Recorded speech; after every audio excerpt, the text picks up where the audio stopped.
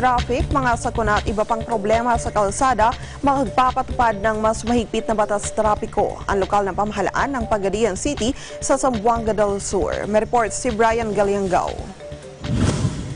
Dahil sa dami na ng iba't ibang uri ng sasakyan ngayon, mahihirapan kang dumaan lalo na't hindi masyadong maluwag ang kalsada at idagdag pa riyan ang mga nakaparadang sasakyan sa gilid mismo ng ilang maliliit na espasyo kung kaya't nagiging sani ito ng aberya at matinding trapiko na posibleng magdulot pa ng disgrasya sa kalsada.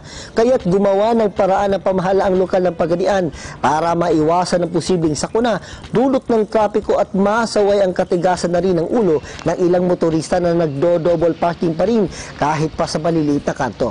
Ayon kay Engineer Elmer Franza, hepe ng Traffic and Management Office sa Pagadian, una na umanong ipinatupad ng lokal na pahamalaan ng Diagonal Parking Ordinance sa kahabaan ng Rizal Avenue at FS Paharis Avenue kung saan marami pa rin nasusupungang lumabag sa nasabing ordinansa.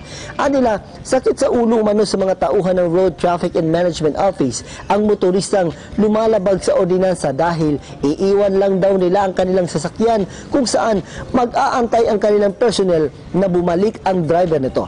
Karamihan kasi sa mga drivers natin, mag-illegal park tapos pabayaan ka agad yung sasakyan.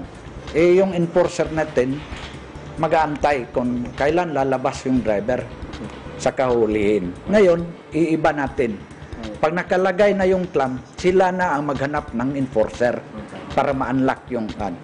Para maiwasan ang matinding traffic sa daan, kailangan umano ng ahensya na mas paigtingin pa ang batas trafiko.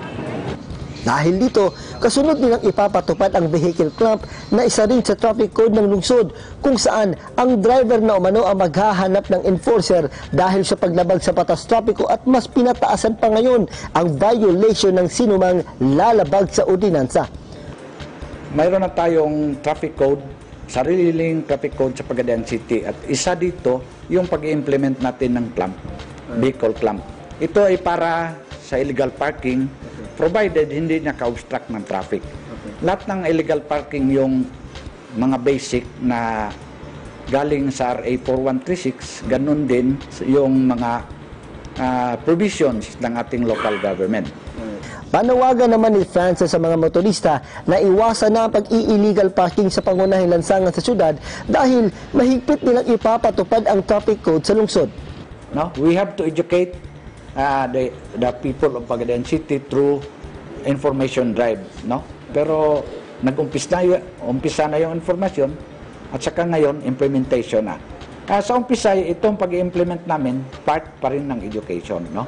We have to adjudicate kung mahuli kayo, ah, ah, ipaalam namin sa inyo ang batas. You have, you are being sent with notice, saka kayo magpapa, ah, magbabayad ng penalties. Dagdag rin ng ahensya na kung walang magiging pasaway at susunod lang sa batas trapiko, wala umanong magiging problema at luluwag pa ang daloy ng trapiko sa daan. Mula dito, sa Zamboanga del Sur para sa AGL News, Brian Giliangao, IM1, Food 25.